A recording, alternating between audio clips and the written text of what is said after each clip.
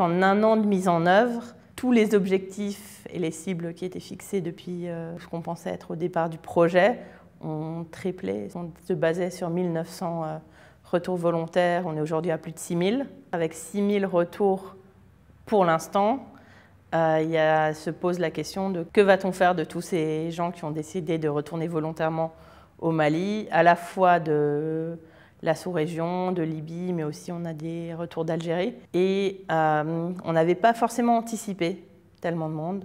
Donc je pense qu'on se retrouve avec le vrai défi de pouvoir réintégrer ces gens durablement, qui n'aient pas envie de repartir le long des routes migratoires ou pas dans ces conditions-là, que s'ils décident de retenter la migration, que ce soit une migration informée, qu'ils soient conscients.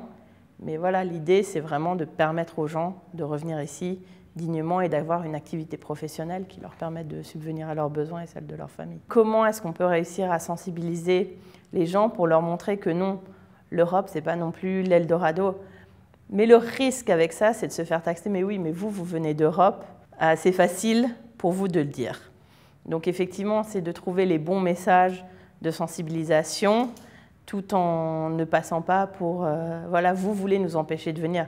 La question, c'est pas d'empêcher les gens de venir, c'est de savoir les risques qu'il peut y avoir à tenter les chemins de migration euh, irrégulière. Le deuxième volet de ce projet ici, c'est aussi pour euh, informer les gens des droits et des devoirs de libre circulation dans l'espace CDAO. Que oui, on peut circuler librement dans l'espace CDAO sans avoir besoin d'un visa. On a quand même 70% de la migration qui est inter-sous-régionale. Donc finalement, on a 30% de gens qui essayent de continuer la route vers l'Europe et 70% qui restent dans la sous-région.